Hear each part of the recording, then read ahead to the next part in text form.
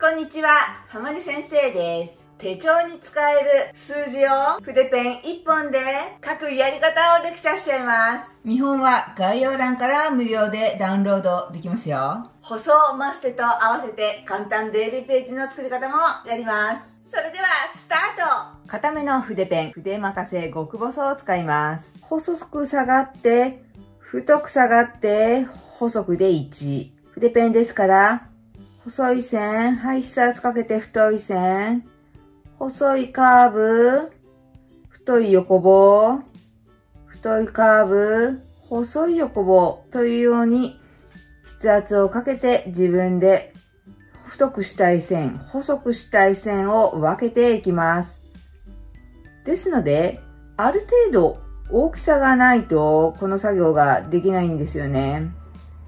4は横棒をここを通さないとちょっと洒落た感じになります。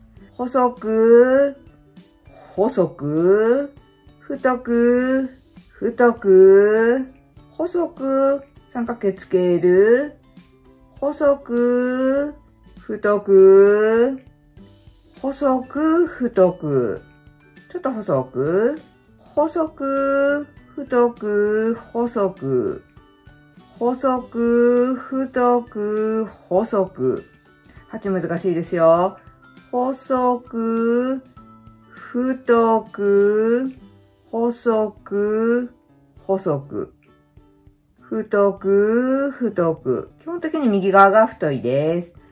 細く、太く、細く、太く。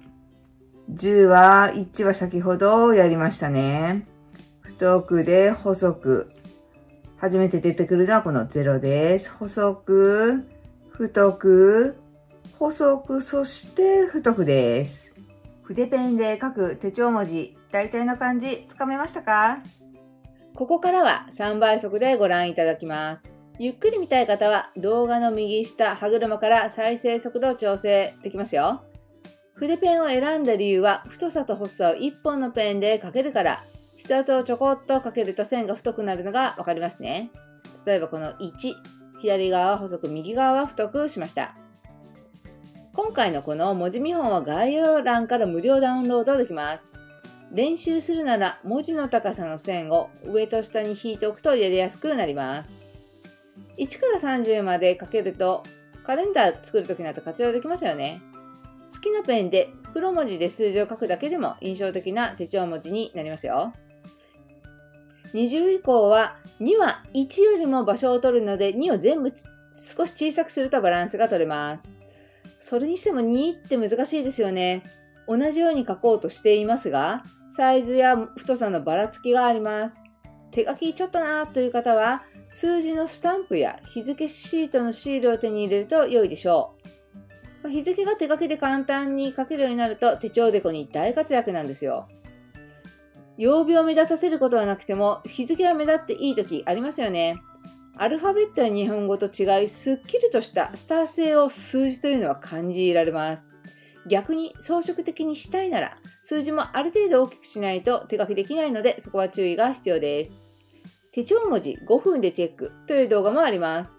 違うスタイル、違うペンでの数字が知りたい方は上のカードか概要欄からチェックしてください。ただ書くだけでも結構楽しい時間です。細まして手帳レッスン。無地の手帳をデイリーページにします。ただ数字を書くだけだとあまりにも殺風景ですので、細マステを利用します。細マッチョではないですよ。MT というところのマステ、約 6mm のものです。3段のボーダー模様で、色の組み合わせがなんともおしゃれなんですよね。マステの色に合わせて筆ペンのカラーを選んでいます。動画ではインクの色の違いは感じないかもしれませんが、手書き好きの方はちょっとこだわりたいところですよね。曜日は極細ボールペンで筆記体を書きました。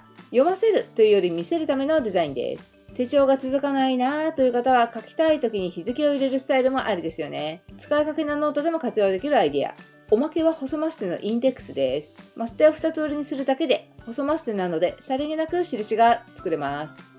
余談ですが、このマステ、メルカリで手に入れたんです。細マステがこれだけあって、送料込みで400円足らずでした。ネットショップでは3本セットで販売されていました。出品者さんのご好意でメモやフレークシールも入っていたんですよ。皆さんはメルカリを使われたことはありますか？浜根先生は実は初めてこれっきりなんですけどもいい出品者さんと出会えてすごい良かったです手帳グッズや文房具などもたくさん出ていますのでもちろん評価などしっかりチェックして利用するのもありだと思います動画いかがでしたか？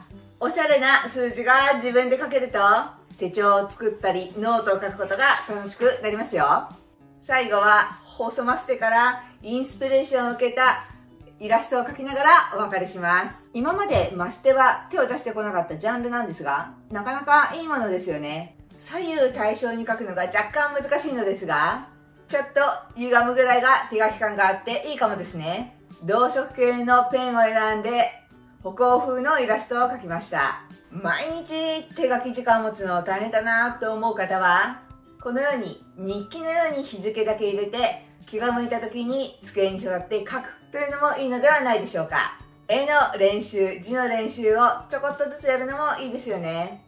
浜根先生チャンネルでは手帳術やイラスト、カリグラフィーなど幅広く手書きの世界をお届けしていきます。動画良かったよと思う方はお手数ですが、いいね、そしてチャンネル登録もよろしくお願いします。それでは次回の手書き動画でお目にかかりましょう。さようなら。